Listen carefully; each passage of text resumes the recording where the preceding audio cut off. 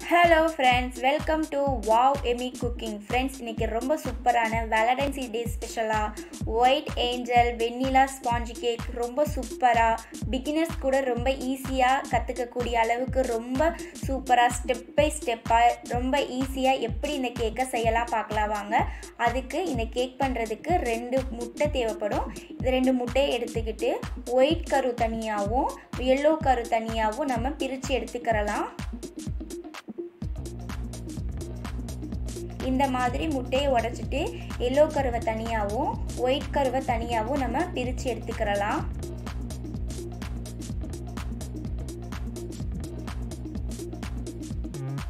நம்ம பிரித்தாச்சு இப்போ வந்து இந்த எல்லோ இரு கரு இருக்கிற அந்த பாத்திரத்தை ஒரு ஓரமாக வச்சிடலாம்.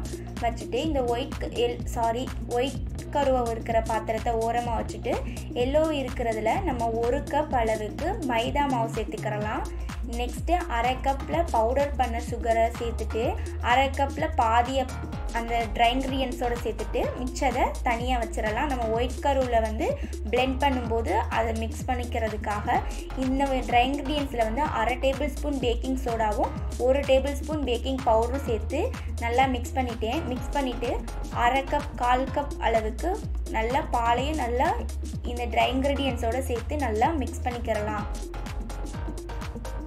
கொஞ்சம் கொஞ்சமாக மில்க் ஆட் பண்ணி நம்ம நல்லா இந்த ட்ரை இன்க்ரீடியன்ஸை மிக்ஸ் பண்ணி எடுத்துக்கிறலாம். மொத்தம் இந்த ட்ரை இன்க்ரீடியன்ஸோட அரை கப் அளவுக்கு பால் சேர்த்துருக்கேன். நான் இந்த கேக்கோட மெஷர்மெண்ட்ஸ் எல்லாம் நான் டிஸ்கிரிப்ஷன் பாக்ஸில் கொடுக்குறேன். நீங்களும் போய் செக் பண்ணி பார்த்துக்கோங்க. பாருங்கள் இந்த மாதிரியான ஒரு கன்சிடென்சி வர வரைக்கும் நல்லா மிக்ஸ் பண்ணி எடுத்துக்கோங்க.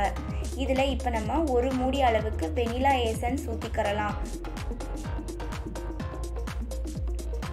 ஊற்றிட்டு மறுபடியும் நம்ம இந்த கேக் பண்ணுற இந்த பேட்டரை நல்லா மிக்ஸ் பண்ணி எடுத்துக்கிறலாம்.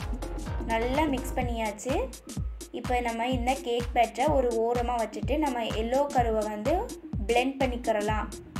பிளெண்டர் இல்லாட்டினாலும் பரவாயில்ல. நீங்கள் ஒரு ஒயர் விஸ்கை வச்சு பிளெண்ட் பண்ணிங்கனாலும் இந்த மாதிரியான கன்சிடன்ஸுக்கே வந்துடும் என்ன கொஞ்சம் எடு லேட் ஆகும் பட் ஆனால் வேகம் நம்மளுக்கு இதே மாதிரி பெர்ஃபெக்டாகவே ஸ்டிஃபான ஒரு எக் ஒயிட் வந்து கிடைச்சிரும். பாருங்கள் இந்த மாதிரி நல்லா பிளெண்ட் பண்ணிக்கோங்க பிளெண்டரை வச்சு. இந்த ஸ்டேஜ் வரும்போது அரை மூடி வெனிலா எசன்ஸை இதில் ஆட் பண்ணிக்கிறலாம். ஆல்ரெடி அதுலேயும் நம்ம வெனிலா எசன்ஸ் ஆட் பண்ணியிருக்கோம் இந்த இதுலேயும் நம்ம ஆட் பண்ணியிருக்கோம் இப்போ மிச்சம் இருக்கிற அந்த சுகரையும் நம்ம இந்த எக்கோட சேர்த்துக்கிறலாம். எக் ஒயிட்டோட சேர்த்து நல்லா பிளெண்ட் பண்ணிக்கிறலாம்.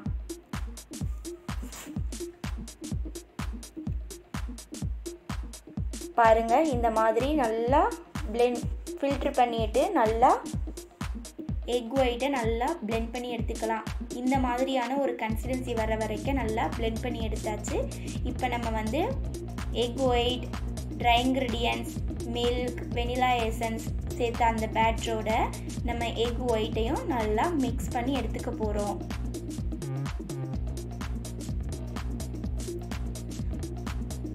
இந்த மாதிரி கொஞ்சம் கொஞ்சமாக எக் ஒயிட்டை அந்த கேக் பேட்டரில் ஆட் பண்ணி மெது மெதுவாக கலந்து விட்டுக்கோங்க.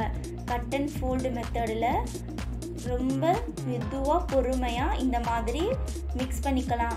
இந்த ஸ்பேட்ச்லாம் இல்லாட்டினாலும் பரவாயில்லை. தோசை தவா தோசை கரண்டி இருக்கும்ல நம்ம எல்லார் வீட்லேயும் அதை வச்சு கூட நம்ம கேக் பேட்டரை இந்த மாதிரி பண்ணிக்கிறலாம் அதில் ஃபைனலாக கால் கப் அளவுக்கு ரொம்ப குறைவான ஒரு டேபிள் ஸ்பூன் ஒரு டேபிள் டூ டேபிள் ஸ்பூன் ஆயிலையும் ஆட் பண்ணி நல்லா கேக் பேட்டரில் மிக்ஸ் பண்ணி எடுத்தாச்சு. அவ்வளோதான் நம்ம கேக் பேட்டர் ரெடி ஆயிருச்சு. இப்போ நம்ம வீட்டிலே இருக்கிற ஒரு கேக் பண்ணக்கூடிய ஒரு இந்த மாதிரி ஒன்று ஒரு பாத்திரத்தை எடுத்துக்கிறலாம் கேக் ட்ரே இல்லையே அப்படின்னு கேட்டு யாரும் ஃபீல் பண்ண வேண்டாம். வீட்டில் நமக்கு நம்மக்கிட்ட இருக்கிற டிஃபன் பாக்ஸ் இந்த மாதிரி அலுமினியம் பாத்திரத்தில் கூட நம்ம கேக் பண்ணலாம். நம்ம கேக் பேட்டரை வந்து இந்த பாத்திரத்தில் ஊற்றிடலாம் ஊற்றிட்டு தரையில் ரெண்டு மூணு முறை நல்லா டிப் பண்ணி எடுத்துக்கோங்க. ஏதாவது ஏர் பபிள்ஸ் இருந்தால் ரிலீவ் ஆகிரும் அதுக்காக தான் எப்பயும் போல் ஒரு கடாயை ஃபிஃப்டீன் மினிட்ஸ் ஃப்ரீ ஹீட் பண்ணிவிட்டு அதுக்கப்புறம் நம்ம கேக் பேட்டரை அந்த கடாயில் வந்து ப்ளேஸ் பண்ணிடலாம். பாருங்கள் இந்த மாதிரி ப்ளேஸ் பண்ணிடலாம். ஒரு டுவெண்ட்டி டு தேர்ட்டி ஃபைவ் மினிட்ஸில் குக் ஆயிரும். நான் ஓப்பன் பண்ணி காட்டுறேன் பாருங்கள் ரொம்ப சூப்பராக ப்ளஃபியாக செம்ம சாஃப்டாக நம்ம வெனிலா ஸ்பாஞ்ச் கேக் ரெடி ஆயிருச்சு. நான் இதை வந்து டெக்கரேட்டிங் பண்ணுறதுக்காக நான் வந்து த்ரீ லேயராக வந்து இதை கட் பண்ணி எடுத்துக்கிறேன். வீடியோ ஃபாஸ்ட் மோடில் போகுது. ஆனால் நான் வந்து ஸ்லோவாக தான் கட் பண்ணி எடுத்திருக்கேன். இந்த மாதிரி மெதுவாகவே நீங்களும் கட் பண்ணி எடுத்துக்கோங்க. இந்த கேக் ரொம்ப சூப்பராக ரொம்ப சாஃப்டாக செம்ம டேஸ்ட்டாக இருந்தது. பின்னாடி கொஞ்சம் கரைஞ்சிருக்கும். அது தேவையில்லைன்னா நீங்களும் அதை கட் பண்ணிக்கலாம். தேவை இருந்துச்சுன்னா நீங்கள் கட் பண்ண தேவையில்லை.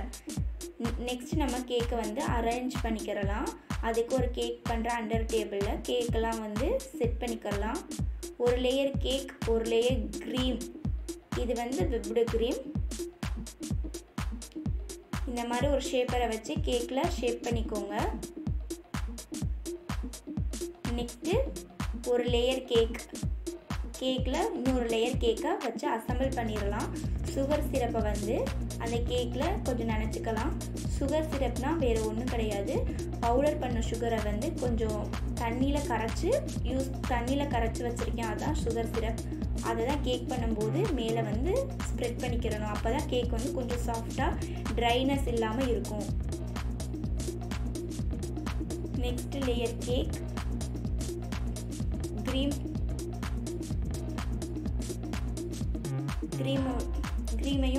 சேர்த்து நம்ம அரேஞ்ச் பண்ணிக்கலாம். உங்கள் மைண்ட் க்ரியேட்டிவை பொறுத்து நீங்கள் எந்த மாதிரியான டெக்கரேஷன் கூட நீங்கள் பண்ணிக்கலாம். நான் ரொம்ப சிம்பிளாக ஈஸியாக பண்ணணும்னு கேட்குறதுக்காக ஒரு ஃப்ளவர் டிசைனை வந்து நான் வந்து இந்த கேக்கில் வந்து டிசைன் பண்ணியிருக்கேன். ஃப்ரெண்ட்ஸ் உங்களுக்கு என்ன கேக் கேக் பண்ணுறதுல என்ன மாதிரியான டிசைன் கொடுக்கணும் நீங்கள் விரும்புனீங்கனாலும் அந்த டிசைனே கொடுத்துருக்கலாம். பாருங்கள் நம்மளோட கேக் வந்து ரொம்ப சூப்பராக சிம்பிளாகவும் ஈஸியாகவும் ரெடி இந்த வீடியோ உங்களுக்கு பிடிச்சிருக்கும்னு நினைக்கிறேன். இந்த வீடியோ பிடிச்சிருந்தா மறக்காமல் என்னுடைய சேனலை சப்ஸ்கிரைப் பண்ணுங்கள் லைக் பண்ணுங்கள் ஷேர் பண்ணுங்கள் தேங்க்யூ ஃபார் வாட்சிங்